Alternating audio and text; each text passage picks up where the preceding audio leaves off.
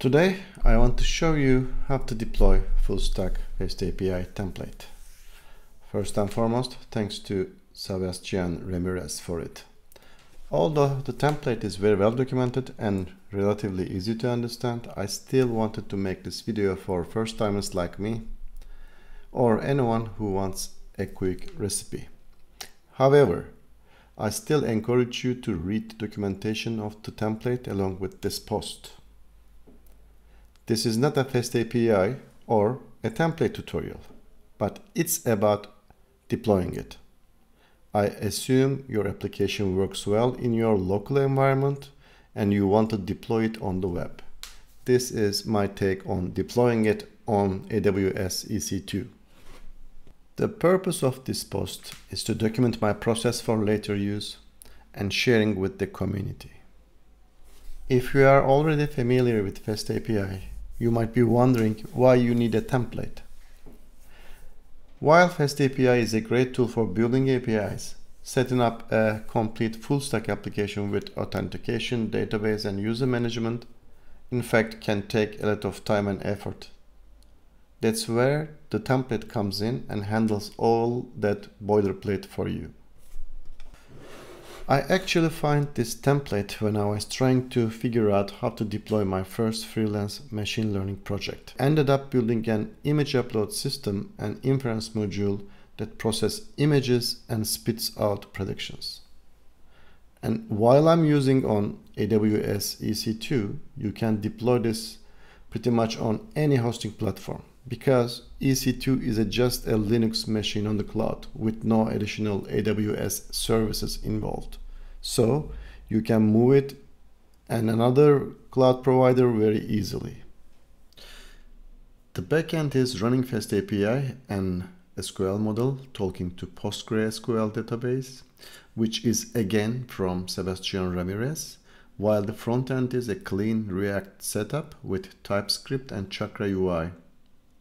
They're in a Docker Compose for deployment, GitHub Actions for CI/CD, and Traefik to handle your HTTPS certificates.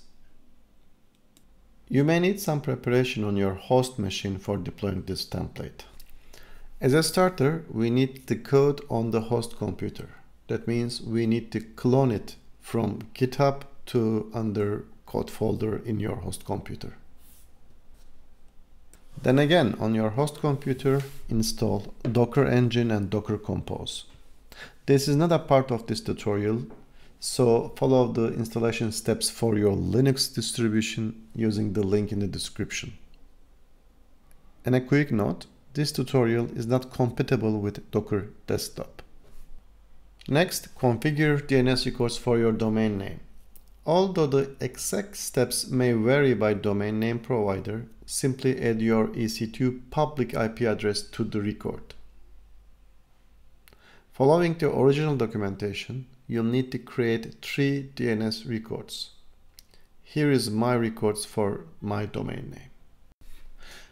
Now connect to your instance with one of the methods shown.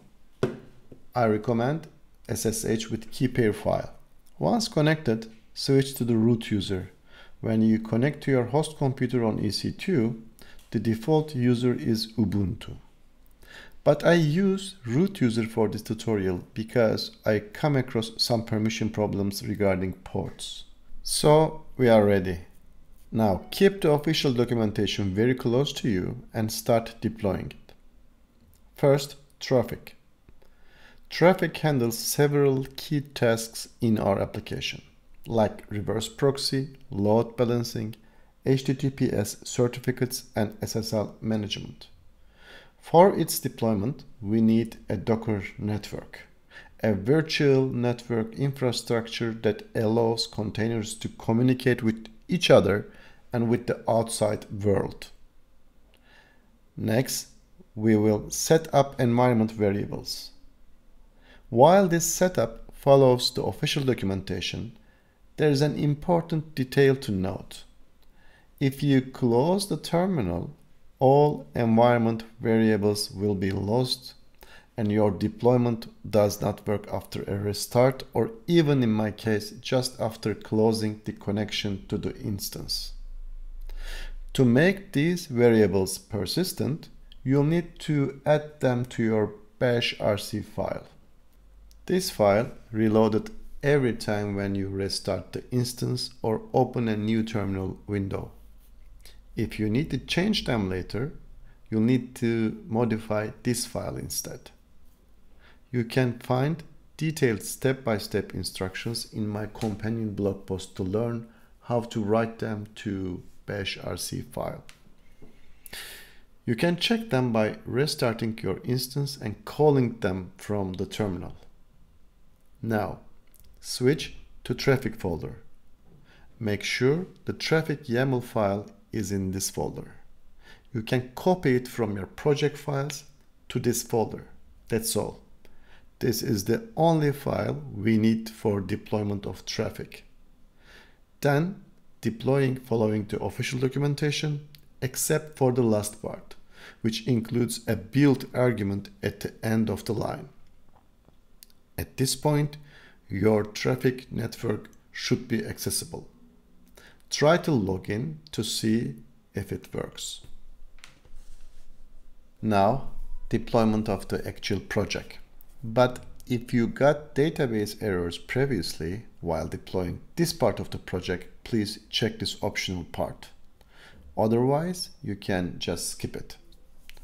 For a problem-free deployment on the cloud, you'll need to manage the database update history that is handled by Alembic in the full stack FAST API template. As you build your application, it is possible that you may have made incremental changes to your local database via Alembic, even sometimes without noticing it. Every time you change model.py based on your needs, in my case, it was an inference module that writes to the database. Alembic tracks and make changes on the database structure and save records as versions.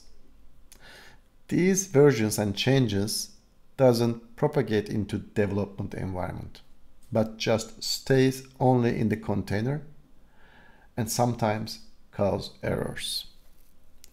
Therefore, you may want to go to your version history at backend app alembic versions and check if it was reflect your current database structure. In my case, I get an version error caused by the addition of columns to non-existent tables, which was working fine on the local server, but not on the remote host machine. I dealt with this problem by deleting both Alembic version history on my local environment and the database container DB. I tested it locally if it works fine by building the project from scratch in one go at this time. After the optional part, we are now deploying it for real. In this stage, we will write a couple of environment variables more in the bash rc file again, as I explained before for Traefik. First, we'll change the environment variable from its default value of local to production. Next, we'll set the domain variable.